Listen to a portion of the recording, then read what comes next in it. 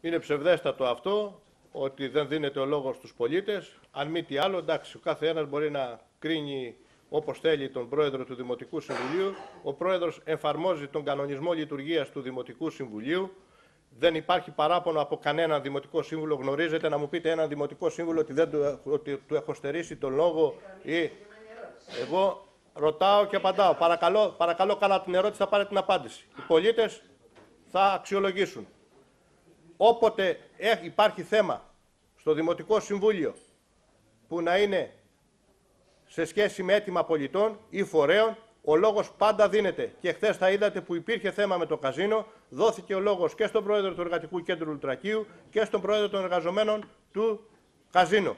Ποτέ δεν στερείται ο λόγος. Και μάλιστα πολλές φορές γίνομαι και, αν θέλετε, επιφορτικός να μιλήσουν όσο το δυνατόν περισσότεροι. Όταν όμως δεν υπάρχει θέμα στην ημερήσια διάταξη βάσει του κανονισμού λειτουργίας του Δημοτικού Συμβουλίου, ο οποίος έχει ψηφιστεί ομοφόνος από το Δημοτικό Συμβούλιο και επί Καποδιστριακού Δήμου και επί Καλλικρατικού Δήμου, ο, ο λόγος δεν δίνεται στους πολίτες. Θα πρέπει να καταλάβουν οι πάντες ότι το Δημοτικό Συμβούλιο δεν είναι λαϊκή συνέλευση. Γι' αυτό και τα συμβούλια τελειώνουν νωρίς. Υπάρχει ένας σκοπός. Οι δημοτικοί σύμβουλοι να θέσουν, οι οποίοι εκπροσωπούν όλο το λαό του Δήμου Κορινθίων, υπάρχουν 4-5 παρατάξεις, είναι 3-4 δημοτικοί σύμβουλοι ανεξάρτητοι, οι οποίοι τοποθετούνται επί όλων των θεμάτων.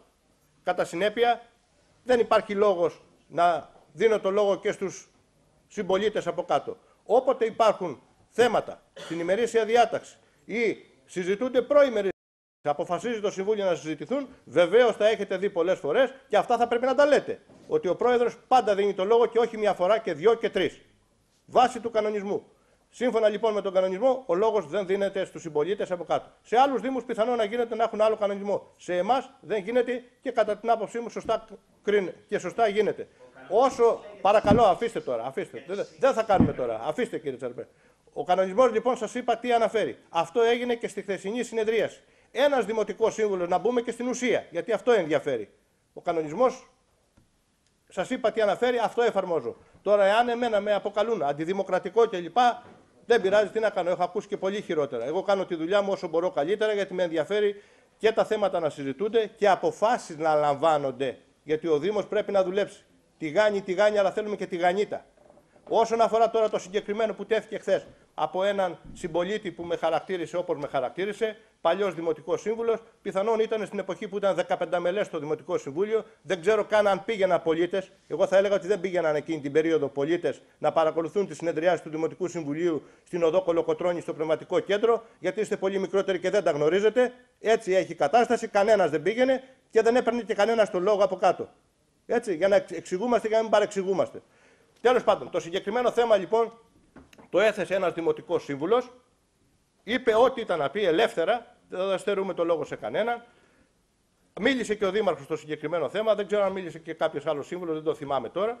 Και τέθηκε αν θα πρέπει να συζητηθεί. Δεν μπήκε θέμα στην ημερήσια στην ε, συνεδρίαση αν το συζητάμε ή δεν το συζητάμε. Εάν έπαιρνε απόφαση το Συμβούλιο να το συζητήσει, βεβαίως και θα έδινα το λόγο και στους πολίτες. Και να ξέρετε και κάτι. Υπάρχει ένα αίτημα τριών πολιτών στην περιοχή, θα πρέπει να το ακούσουν οι συμπολίτες μας.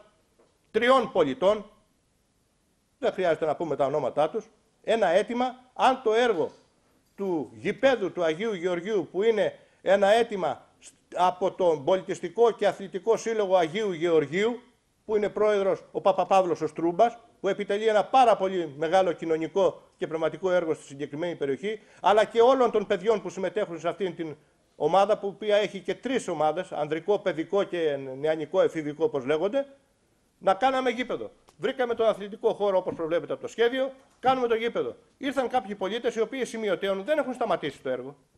Έβαλαν κάποια εμπόδια ότι δεν πρέπει να γίνει το γήπεδο για τους δικούς τους λόγους. Αν ευσταθούν ή δεν ευσταθούν, εγώ δεν είμαι δικαστήριο για να το κρίνω. Εν πάση περιπτώσει, εάν θεωρούν ότι υπάρχει κάποιο πρόβλημα, αρμόδια είναι τα δικαστήρια να σταματήσουν. Ε, εάν επίσης υπάρχει θέμα στη συγκεκριμένη περιοχή από τους πολίτες. Εδώ είναι να φέρουν ένα θέμα με 25 υπογραφές, όπως ορίζει ο Δημοτικός Κώδικας, και εγώ είμαι υποχρεωμένος στην επόμενη συνεδρία του Δημοτικού Συμβουλίου να το φέρω σε συζήτηση. Έτσι έχει και το ανέπτυξα χθες ότι τα θέματα στην ημερήσια διάταξη δεν τα βάζει ο Πρόεδρος, θα πρέπει να ξέρετε. Δυστυχώς δεν το γνωρίζετε. Τα θέματα εισάγονται στην ημερήσια διάταξη πρώτον από τον Δήμαρχο, δεύτερον από το 1 τρίτο των μελών του Δημοτικού Συμβουλίου έγραφο έτοιμα. Μέχρι σήμερα δεν έχουν υπάρξει τέτοια θέματα, γιατί πάντα υπάρχει η καλή προαίρεση μεταξύ όλων των παρατάξεων. Τρίτον, από το σύνολο των μελών της μειοψηφίας. Και τέταρτον, με υπογραφές πάνω από 25 πολιτών με έτοιμα στο Δημοτικό, προς το Δημοτικό Συμβούλιο. Αυτές είναι οι διαδικασίες. Ο πρόεδρος δεν κάνει ό,τι θέλει, ούτε βάζει όποια, θέλει, όποια θέματα θέλει. Τελεία και παύλα περί του θέματος. Άλλη ερώτηση.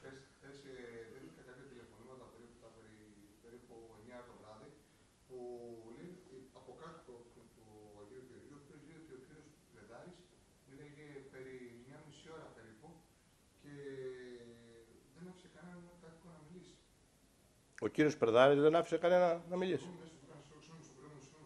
Ο κύριος Πρεδάρης, καταρχήν δεν ενδιαφέρει αυτό τη συνέντευξη, είχε θέμα στην ημερήσια διάταξη που αφορούσε τον κύριο Πρεδάρη. Αυτό προανέφερα και όπως βλέπετε είμαι απόλυτα καλυμμένος.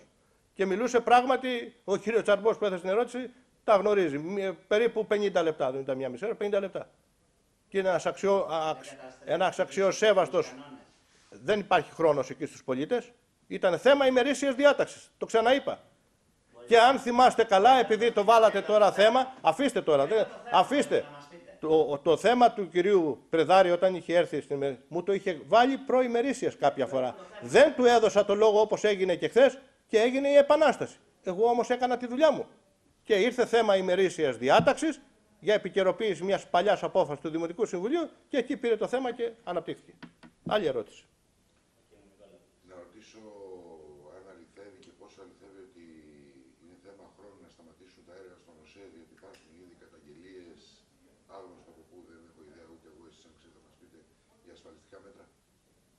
Όχι, δεν έχω καμία τέτοια ενημέρωση. Όμως, ανέφερε και χθες ο Δήμαρχος, σας είπα και εγώ λίγα πράγματα πριν. Καθημερινά σχεδόν έχουμε καταγγελίες. Κάποιοι έχουν λυσάξει να μην γίνει αυτό το έργο. Τα λέω όπως πρέπει να τα πω. Κάποιοι έχουν λυσάξει να μην γίνει αυτό το έργο για την πόλη της Κορίνθου. Να το ακούσουν οι Κορίνθοι.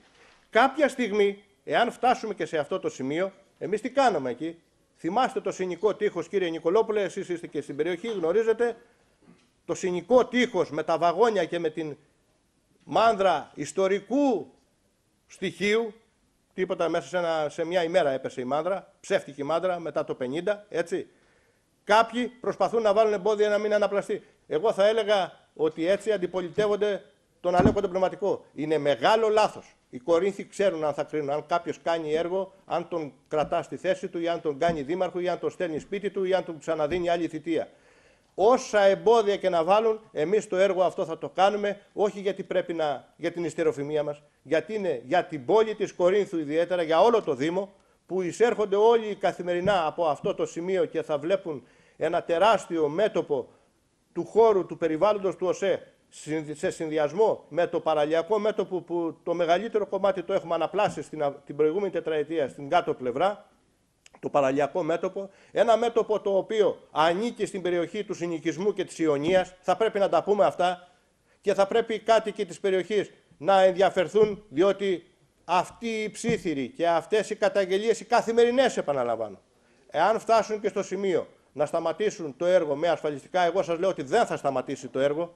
το δηλώνω εδώ ευθαρσός, το είχα πει και τότε αν θυμάστε σε μία συνέντευξη που είχα δώσει με τα μπαζώματα, με τις μηνύσεις που τρώγαμε καθημερινά, ο πρόεδρος, ο δήμαρχος, ο αείμνηστος ο Γιάννης ο Ανδρέου, πήγε στον τάφο ο Γιάννης ο Ανδρέου και έχει τρεις μηνύσεις μαζί του.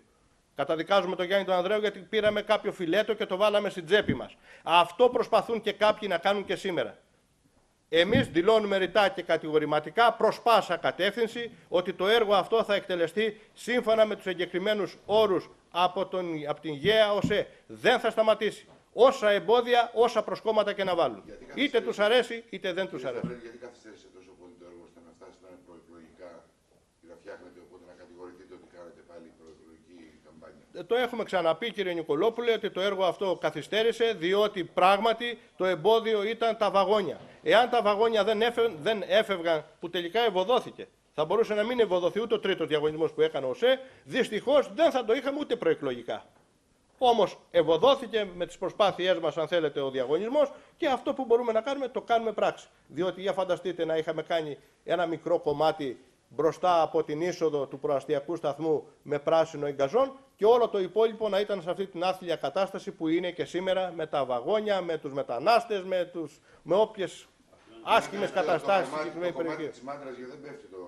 Δεν θα σας αφήνει ο ΣΕ να πέσει το, το κομμάτι της μάντρας. Όχι, είπα ότι μόλις πάρουν τα δύο βαγόνια που είναι από κάτω, γιατί από κάτω θα μπει το μηχάνημα για να μην κόψουμε την κυκλοφορία, η πρώτη δουλειά θα είναι να πέσει και αυτό το τμήμα. Δηλαδή είναι θέμα ημερών να πέσει και αυτό γιατί θέλει σφυρί. Δεν ήταν όπως το άλλο που ήταν από πλήθρα και με ένα γκρέμισμα από το φορτωτή έπεφτε. Αυτό θέλει σφυρί όπως καταλαβαίνετε, είναι το κομμάτι που στην πλημμύρα του, εν- του 99, αν θυμάμαι καλά. Πόσο; Του 97 είχε πλημμυρίσει η περιοχή, εσύ είσαι και κάτοικος της περιοχής και τότε ο ΟΣΕ, επειδή γκρέμισε η μάντρα από το νερό, έφτιαξε μια μάντρα που αυτή η μάντρα ούτε στο Βερολίνο δεν έγινε τόσα λεφτά να πέσουν τέτοιο μπετό. Δεν σπάει με το, ούτε με το σφυρί όπως έχει γίνει εκεί. Εν πάση περιπτώσει είναι θέμα ημερών να φύγουν τα δύο βαγόνια που είναι από την κάτω πλευρά για να πέσουν τα μπάζα. Μια από την κάτω. τελευταία ερώτηση για